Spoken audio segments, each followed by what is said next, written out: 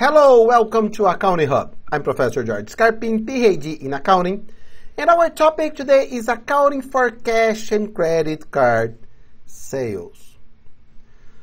What is this? A sale in which the customer pays for the total amount of the sale at the time of the transaction is called a cash sale.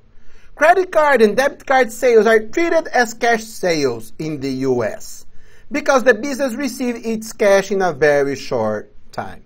That is not true in some countries, but here in the US it is. So we consider them as cash. A specialized computer used to collect, store, and report all the information about a sales transaction is called a POS terminal or point of sale terminal. The report that summarizes the cash and credit card sales of a point of sale terminal is called a terminal summary. So, how does it work? Terminal summary for these three green products Inc. Date, uh, code, date, time, Visa, sales, sales tax total, MasterCard, debit cards, cash, and totals. We will record only the total. We don't need to record all of the transactions. So we record it at the end of the day, usually. How do we process it? Sales information for credit card sale is stored in the POS terminals. A report of credit card sales produced by a point of sale terminal is called a batch report. A batch report can be detailed, showing every credit card sale, or can be a summary, showing only the number and total of sales by credit card type. The process of preparing a batch report from a point of sale terminal is called batching out. So here, uh, almost the same. So here we have the totals. How many sales? That is the count that we don't have in the terminal summary, or here we have these totals. Here and then the batch report, we have the totals here. And then sales returns, that we also have it. And these sales here, they are the sales here. So this is how we usually work. Okay? So, how do we record them?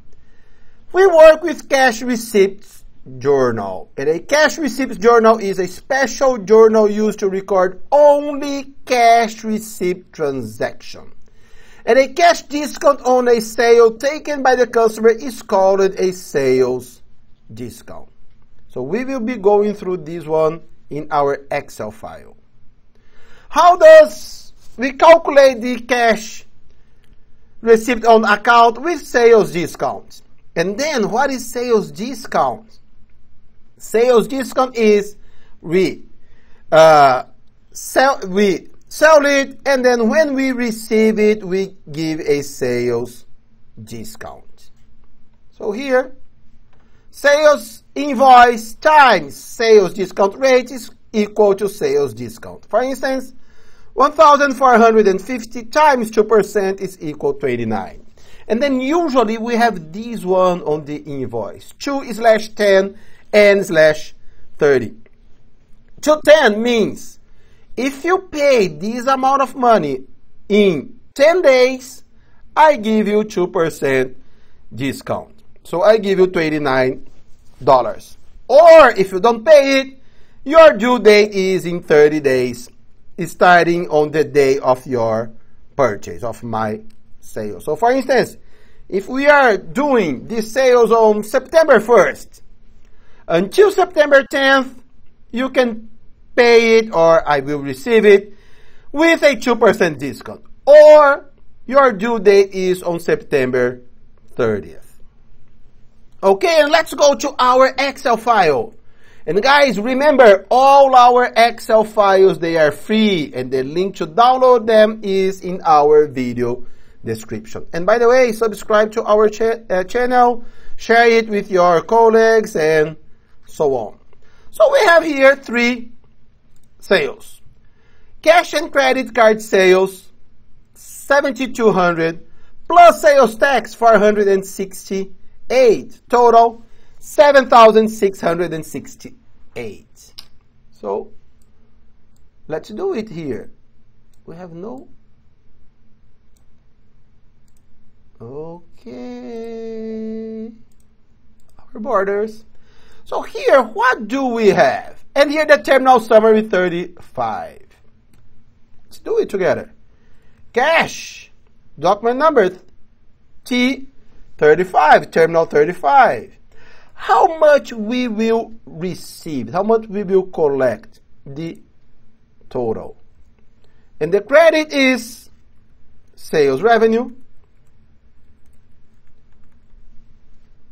That is 7200 and sales tax payable. And sales tax payable is a liability. Why it is not an expense? First of all, because it is, it is a credit. So our expenses, they are debit because they decrease equity and equity is a normal, uh, normal credit account. And here we are only collecting the money to the state. It is not ours. We are only collect this money. So it is a liability. We are collecting it and we will pay to the state later. But how do we add them on cash receipts journal? It is this first one here. So let's delete it. And let's do it together. Date. May 4th. Nothing here on account title. Doc number T35. General. No general cash receipts here. Sales credit, no accounts receivable because it is a cash sales. So sales. How much? 7200. Sales tax. Sales tax payable 468.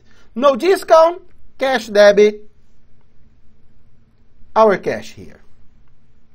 And then here, accounts receivable. We have no accounts receivable here. Okay. The second one, cash receipts on account. Received cash on account from Edmonds, total 3,412. It is this one. And that one is easy. So it is May 6th. Our debit cash, we are receiving this money. Uh, receipt 610. How much? 3,412. Credit. Accounts receivable. 3,412. Now, how do we do that on cash journal? Let's delete it. So the date, May 6th. What is the name of our client here? Edmonds Hospital. Receipt 610. Accounts receivable. It is what we are receiving here. 3,412. No sales tax because the sales tax is when we sold it.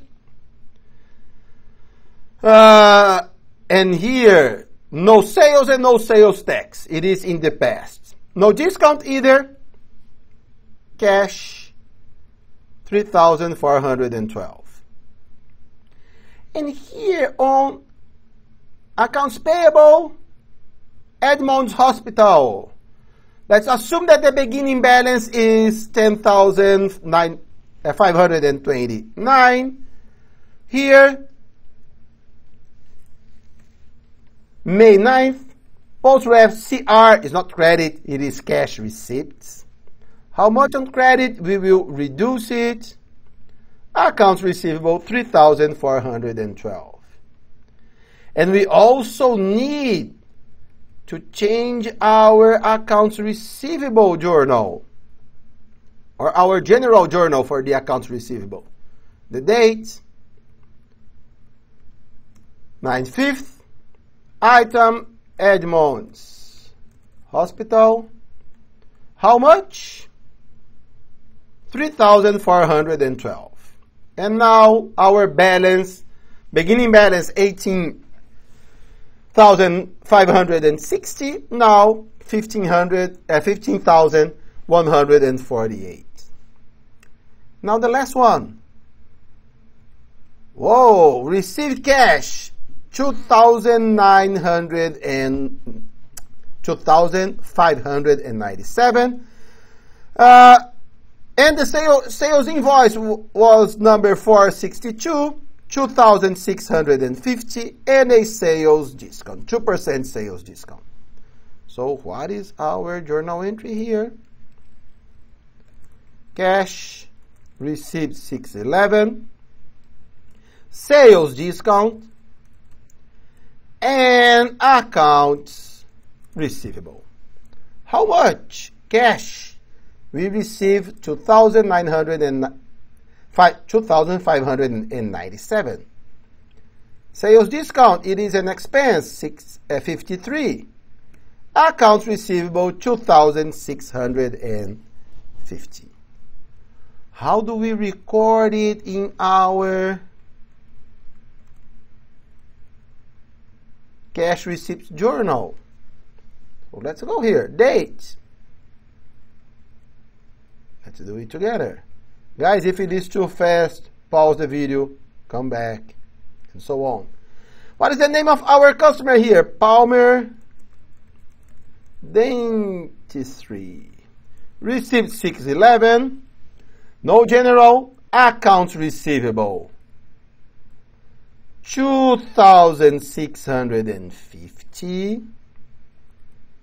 No sales credit. No sales tax. Sales discount. Debit.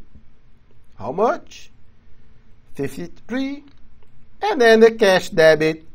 It is accounts receivable less sales discount or only 2,597.